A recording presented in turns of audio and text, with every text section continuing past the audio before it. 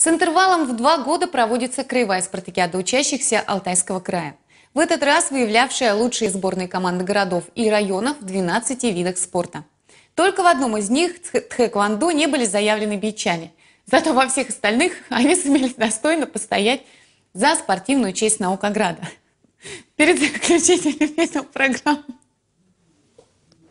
всего в финальном спартакиадном турнире участвовало 9 команд, разбитых на три подгруппы.